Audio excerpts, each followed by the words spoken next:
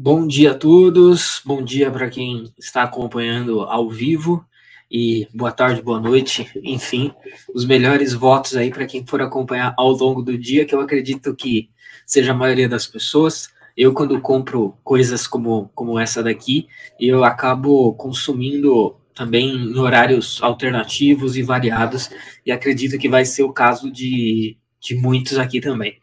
É, hoje a gente vai falar sobre, começar a falar sobre o livro Apologia de Sócrates, mas antes, hoje, imprescindivelmente, alguns recados um, gerais prévios, né? Então, uh, o teatro das, o que é o teatro das ideias, né? Dito aqui de maneira bem breve, o teatro das ideias é, não é um clube de leitura, tá, gente? Então tem muitos projetos de clubes de leitura por aí, muito bons, muito, muito justos, mas o que a gente quer fazer aqui não é um clube de leitura, tá? Porque um clube de leitura, o, o, fundo intelectual de um clube de leitura seria uma crítica literária, né? Fazer uma seleção de livros, fazer a sua leitura e fazer a sua análise. Isso é a típica atividade da crítica literária. Muito bom, excelente, mas é, é, não é o que a gente quer fazer aqui, tá? Aqui a gente vai seguir um modelo de pedagogia e de formação de educação liberal né, proposto pelo, uh, pelo americano Mortimer Adler,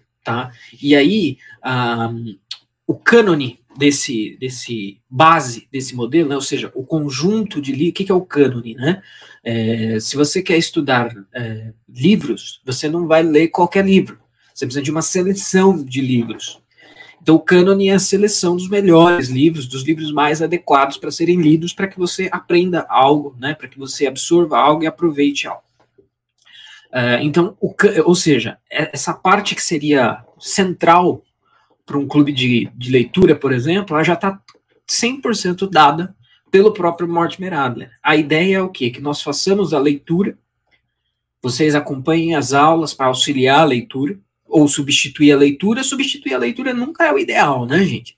O ideal é que vocês leiam e façam a aula. Mas a gente sabe, né? Eu sei isso às vezes é ilusório. Você vai acabar lendo um, outro, a maioria, a minoria, né? Mas enfim, a aula, com certeza, todos que aqui estão e aqui estarão vão acompanhar.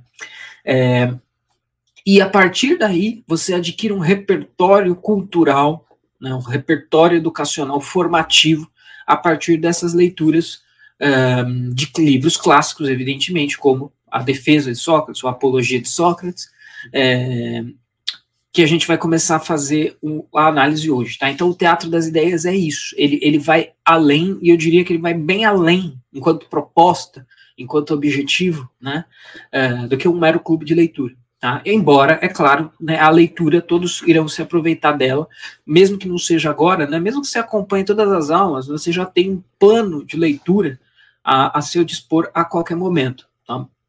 Então, mas a coisa aqui é pedagógica, né, é intelectual, é formativa.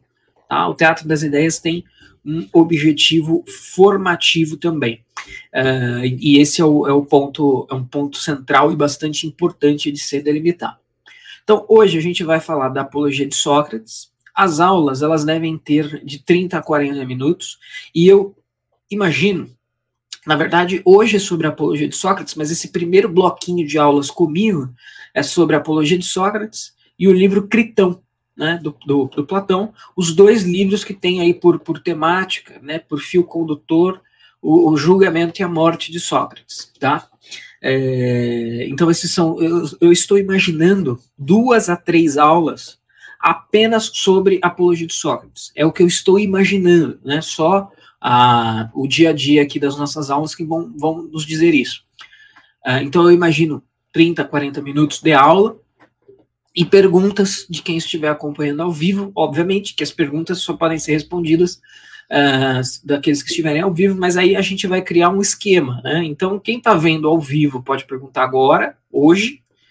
Quem estiver vendo depois pode entrar ao vivo na próxima e tirar a sua dúvida. Tá? Isso é sempre possível. E assim sucessivamente. Ainda um recado prévio sobre uh, as nossas aulas aqui cada aula se debruçará sobre um livro. E sempre que a gente vai falar de livros, livros antigos e tudo mais, entra o elemento da tradução. Né? Então, o elemento da tradução é um elemento importante. Qual edição eu compro? Qual tradução é a melhor tradução? Etc, etc.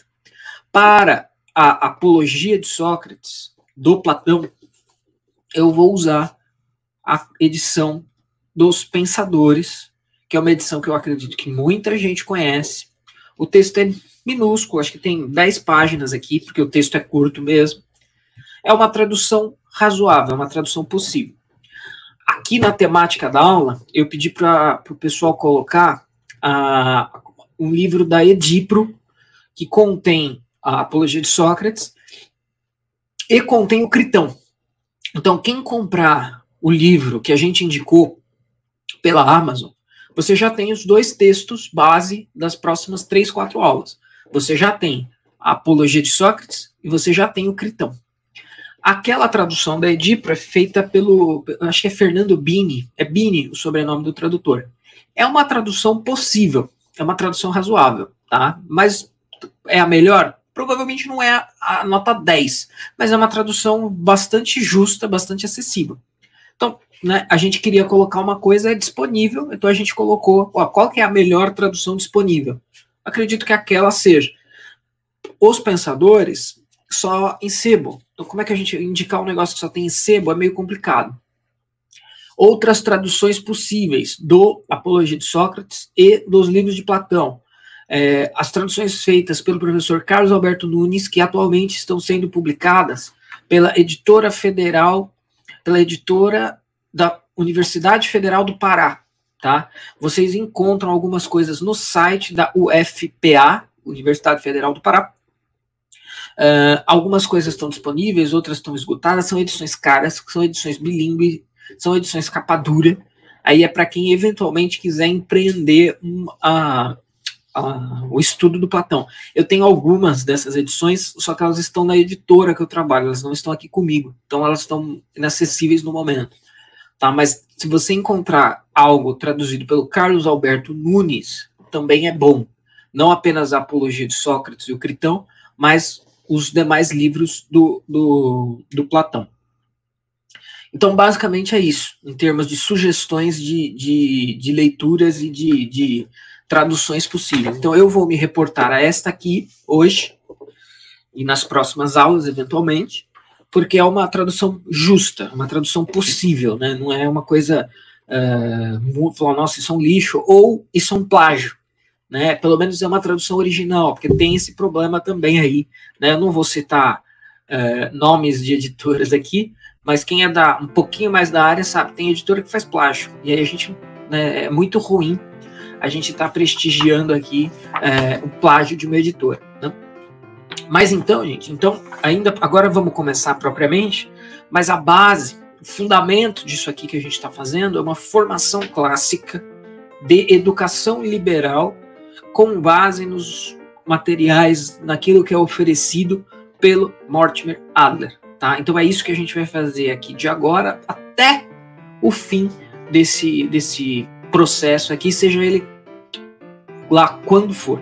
Né? É uma coisa longa, é uma, como qualquer coisa formativa, né? Como qualquer coisa formativa, é um negócio longo, mas estamos aí para fazer e compartilhar isso com vocês. É, então, o que, que eu quero destacar, primeiramente, então vamos, vamos partir para o livro propriamente, né? É, um pequeno relato aqui. Então, o nome do livro é Apologia de Sócrates. Algumas apologia é defesa, né? Eu vou fazer uma apologética. Né? O que é apologética cristã? Uma defesa do cristianismo. Né? Algumas traduções vêm como defesa de Sócrates, outras como apologia de Sócrates. Mas essa é a ideia por trás da coisa, uma ideia de defesa, né, uma ideia de apologia.